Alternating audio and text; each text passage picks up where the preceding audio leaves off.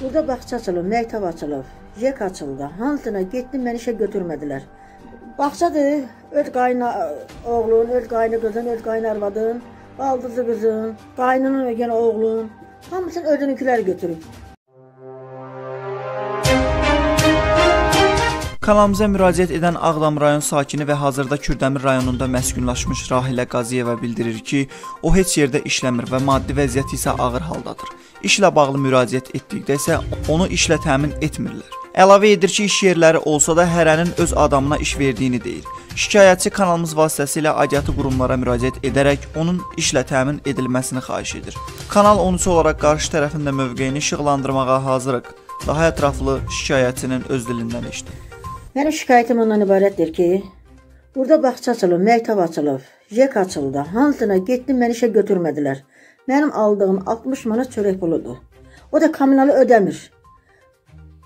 Bağçadır, öz qayna oğlun, öz qayna qızın, öz qayna arvadın, baldızı qızın, qaynının yenə oğlun, hamısını özününkülər götürüb. Məktəbdir, Cəbrayıldadır, Kəlbəcəridir, Kəlbəcərilər götürüb.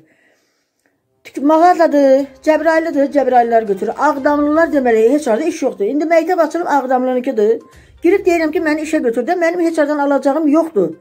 Kim elə bir ərridir, kim elə bir yenə yaxşı dolanır, ancaq onu işə götürürlər. Bəs yaxşı, mən neyim, mən nə qayrım?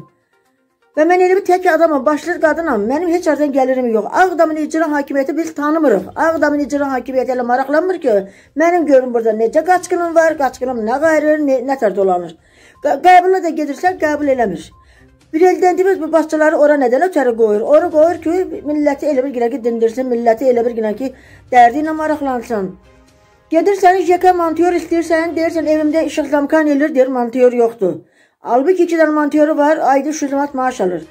Bu qəsəbədə, Kürdəmirdə salınmış qaçqınlar üçün qəsəbədə öz başınalıqdır. Kim nə bilir, onu eləyir.